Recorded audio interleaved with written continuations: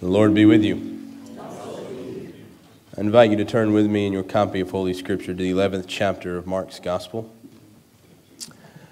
Mark chapter 11, we'll be reading verses 1 through 11 this morning.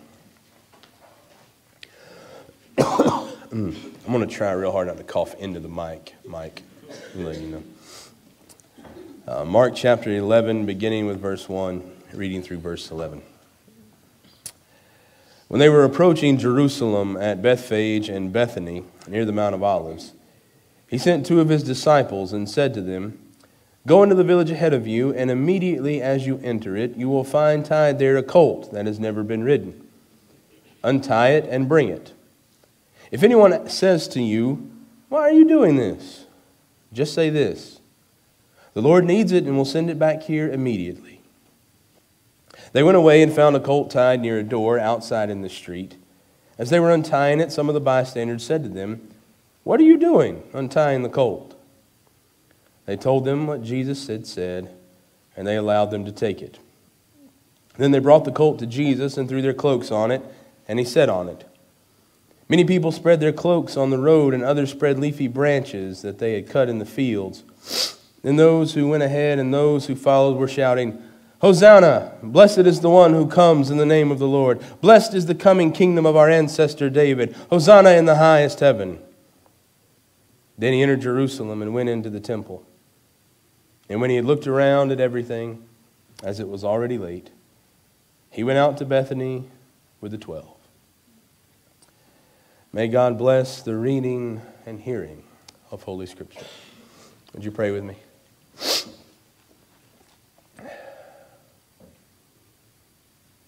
And now, God, give us ears to hear, eyes to see, hearts open, God, to receive what it is you have for us this day.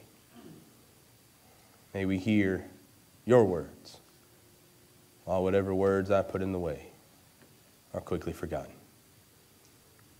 Be with us now, we pray in Christ's name. Amen. Well, to most folks, Gary is a nice guy. He's polite, courteous, but can be straightforward.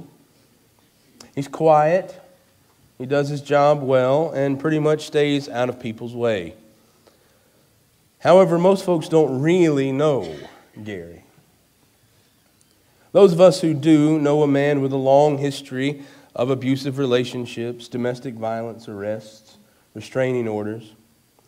We know a man who receives packages wrapped in brown paper so children's eyes won't accidentally see what arrived in his mailbox. We know a man who has cheated folks out of thousands of dollars, who's lied to countless others, a man who's taken part in more than one affair with a married woman. We know a man who gets up every morning to put on a mask of humility and confidence, to hide the inner turmoil of sinfulness, of greed, of self loathing. We know the real Gary. A man who is trying so hard to preserve himself in his own way of life that he overlooks anyone he may hurt along the way. I worked with Gary, went over to his house once or twice. And I remember one of the first times I went to Gary's house, he showed me inside, and the house was much like the man himself clean, dusted, well lit, and even though Gary was a heavy smoker, there wasn't even a hint of smell of cigarette smoke in the house, just the, just the right amount of, I guess it was Glade or something. His house served as a sort of different mask, covering up what we all really knew about him, what he wasn't embarrassed to share with those of us who really knew him. But I remember, though, what caught, really caught my eye in Gary's house was strange. On his coffee table, which had very recently been wiped down with a rag and some pledge, I'm sure, there was a neat stack of a few magazines about antique cars, a nice little wicker basket where he kept the remote for the surround sound, the television, the DVD player. And then there was this black fake leather Bible. You know the kind you get, right? It's not really leather. It looks like one of those leather Bibles until you pick it up and you, oh yeah, it's just heavy black paper. Had gold letters on the front, gold gilded pages. I was surprised to see in Gary's house a copy of the good book sitting there on the coffee table. But then I noticed something else in his living room. On the wall opposite of his coffee table was a rather large print in a really gaudy gold frame. It was an image of a field, a pasture, a breeze maybe blowing through it. There on the right hand side of this picture was a man with long hair, a beard, red and purple robes, holding a little baby lamb in his arms. I think the 23rd Psalm may have been written in the clouds. It was a picture of Jesus. I was a bit shocked. Gary's got Jesus in his house? A picture of Jesus on the wall? Had he found religion over the weekend? Had he, had he suddenly changed and started to decorate his house to reflect the interchange in his own life? Well, he had walked into the kitchen, and when he came back, I asked him, I said, Gary, what's the deal with the Bible? You see, I was a new Christian myself. I don't know about you. If you come to faith later in life, you start to wonder who all might actually be Christians. Like we're all in some sort of secret club that nobody wants to talk about at work or at school or in the real world. And so you start to wonder, is Gary really a Christian? And so I asked him, I said, hey, what about this? What about Jesus on the wall? What's all this about? He said, Oh, yeah, yeah, those are both gifts. I was going around with this Pentecostal girl. She thought it'd do me some good to have a picture of Jesus and a Bible. She thought it would straighten me out. But now I keep it out on the table so when them Jehovah's Witnesses come over or the Mormons knock on the door, they'll think I'm at least a little religious and won't try to convert me anymore. The Bible on the table, the painting on the wall, little more than deceptive decoration, an attempt to look religious. Maybe they had once been gifts, hopeful tools of reformation in the life of one who needs it like the rest of us. But now they were only trinkets, strategically placed to avoid difficult and uncomfortable conversations. They were just there, in the way to be dusted around and under. I suppose that's the way it can go sometimes. Folks can get a, taste of religion, a sampling of faith. Hear the promise that comes with being part of a bigger movement, of something bigger than ourselves. But then time grinds on, life progresses relatively unchanged, and so they, they hang mementos on the wall and say, Oh, yeah, yeah, I remember when I used to be like that, when I thought it was a good idea to pray over supper. I remember when I used to be like that. Every once in a while, pick the Bible up and flip through it. Oh, yeah, I remember when I used to be like that. A religious program on the television, I might stop and watch it. I remember. But now, I'm not so gullible. I'm not so gullible to think that there's a God who hears my prayers, who cares about me. When my roof leaks, when my cancer doesn't go away, when my children suffer, when I don't get what I pray for. I suppose there are a lot of folks like that. Like Gary, folks who get a taste, then life continues on. Course, there have been folks like that for centuries, even in the crowds that followed Jesus around during his ministry. We mostly just get a glimpse of those first days when they're riding that religious high of being part of a movement. They hang on every word Jesus says. They follow him around so much they forget to buy lunch. And there's that time they're all sitting there and they go, We've been following you around so much, we don't have anything to eat. They hung on his words. They followed him everywhere he went, even chased him out onto a boat, onto a lake. Jesus has fed them, He's healed them, He's taught them. And it seems like things in the God movement, what Jesus calls the kingdom of God or heaven, this God movement was great. How could people not be attracted to this? Especially people who lived in the first century. People who were under the watchful eye of a foreign power, not free in their own right, always under Roman watch, under Roman oppression. How could they not be attracted to this? But here comes Jesus proclaiming the rule of God, that God's dominion was coming to earth. Yeah, sign me up, give me a ticket. Put the picture on the wall and the Bible on the table. I am in.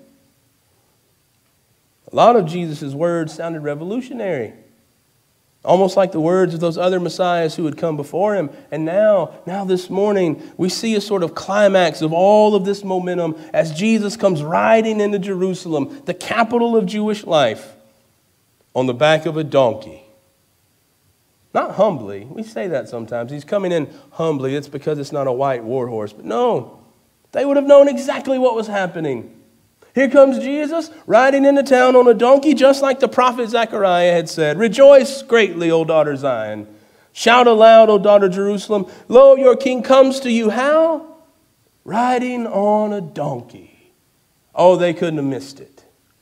The crowd goes nuts over all this prophetic imagery. They're seeing the culmination of their hopes and dreams riding into town. They see one who promises to restore the nation, to free them from their burdens, one who they believe will drive out the foreign oppressors and restore Jerusalem to its former greatness, one who will give them back their identity as the chosen and blessed people of God. And in their fervor, they begin to shed their cloaks, to take off their jackets, and in this somewhat strange act of reverence, spread them out on the road so a donkey can walk over them. Now that's a bit strange, isn't it? Maybe it's simply a sign of enthusiasm. Maybe it's a demonstration of their devotion. I mean, it's obvious they're excited because we see later in another tradition that the Pharisees want Jesus to tell them to shut up, tell them to hush. Because the Pharisees were concerned about causing a scene with so many Roman officials in town for the Passover. They didn't want things to get too disruptive. Jesus, just tell them to hush. And Jesus said, if they're silent, stone will cry out. So they spread their cloaks on the road. And the donkey carrying Christ walks over them. And I hope that's all that donkey did over their cloaks. But then what? Well, I imagine the folks whose cloaks were in the road, after the donkey walked by, they picked them up, dusted them off, put them back on, and got in line in the crowd behind Jesus. A crowd that would witness him drive out the money changers from the temple. A crowd that would listen to his parables, his teachings about taxes, resurrection, giving, and the signs of things to come. I imagine they picked up their cloaks and went on their way following Jesus right into Jerusalem. But something happened. Something happened that changed this crowd. These people who would shout for joy, wave palm branches, spread their cloaks on the road for an animal to walk on, something happened that caused these people to go from shouting Hosanna to shouting Crucify him in just a matter of days. The new had worn off their religion. The shine has gone from the apple of their revolutionary hopes. Jesus rides into town on a colt, on a donkey, bringing to mind all these images of, of kingly power and political upheaval. And what does Mark say he does? He walks in, he looks around, looks down at his watch, it's very late, and does nothing. Nothing. None of it happens. Instead, Jesus winds up arrested. How does it happen? What happened to this crowd that goes from shouting Hosanna to crucify him? I suppose it's the same thing that happens to any of us when we put our expectations of Christ ahead of the reality of who Jesus is. It's the same thing that happens so many times when people get on fire, as we used to say, for religion because of what they believe it promises them, what God will give them, what they've got coming to them. It's the same thing that happens when folks believe that faith is about all, all what's in it for me. And then someone comes along, say, no, no, no. If you want to follow Jesus, you got to take up your cross and die. When then they actually read the words of Christ and realize that faith isn't about getting what I want. In fact, it seems to be about the right opposite. It's the same thing that happens when people buy into the televangelist scams, when they send their money in exchange for miracle spring water or prayer cloths, hoping that this magic check will appear in their mailbox like the man on the TV said it would. And when it doesn't, They flush the spring water down the toilet along with all their expectations about God. They throw that prayer cloth in the trash right along with anything they ever thought about God. It's the same thing that happens when people to continue to cling to the idea that what really matters is abiding by the rules, dressing the part, paying enough money, occupying a pew on Sunday, only to go home and realize they're still empty inside. Because there aren't enough rules to follow. There isn't enough money to give. There aren't enough church services to attend to earn the love of God. And so often, people get a taste of a life of faith. And maybe it's sugar coated, maybe it's watered down, maybe it's 100% pure, but they get just a taste. And they're ready to lay their cloaks in the road for Jesus on Sunday. But then Monday comes. Monday comes and the emperor is still in Rome. Tuesday comes and the account is still overdrawn. Wednesday comes and the tumor hasn't gone away. Thursday comes and the addiction is still there. Friday comes and all that's left hanging in the closet is a dirty, donkey smelling robe. And Saturday comes and there's nothing but a grave. And shouts of, Blessed is the King, turn to shouts of, Crucify him. The truth is, so many of us are willing to follow a Palm Sunday Jesus. A Jesus who fulfills our hopes and our aspirations for power, wealth, and glory. A Jesus who comes riding in on a donkey with a crown on his head. We're all shouting, Hosanna.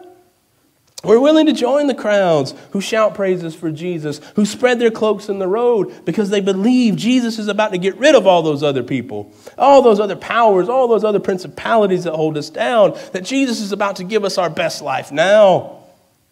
But when the road of faith gets rough, when God seems slow to answer our prayers, and we, we wanted a Savior to tell us that everything is going to be all right, that we're going to get everything we've ever wanted in this life and the next.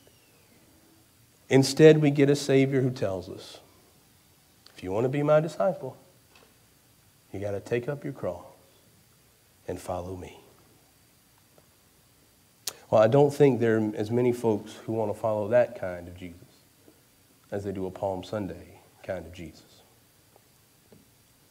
So many of us want Palm Sunday Jesus. But what we've been given is a Good Friday Jesus. A Christ who, despite our selfishness, died for us to show us the love of God, to manifest the reality of God's kingdom. So many of us want a Palm Sunday Jesus, but what we've been given, thanks be to God, is an Easter Sunday Jesus. A Lord who has conquered so much more than political power. A Christ who has overcome so much more than illness and disease. A God who has, in God's limitless love, died in order to be raised so that we might all know that Monday may come with all of its disappointments. Tuesday may come with its heartaches and pains. Wednesday may come with all of its burdens and trials. Thursday may come with temptations and faults. And Friday may come with our own shouts of crucify him. But thanks be to God that Sunday still comes. And with it come God's victory over all those things in our lives that cause us to think we've lost. So let's remember on this Palm Sunday, while it's easy to praise God when we're on the mountaintop, while it's easy to spread our cloaks on the road when our hearts are filled with expectations, that it's just Palm Sunday. And there's a Friday coming that tells us that this life of faith isn't all palm waving and rejoicing. That there are still dark days along the path and along the journey. But thanks be to God that after every failed expectation of Palm Sunday, after every death of Good Friday, there is a resurrection morning. Would you pray with me?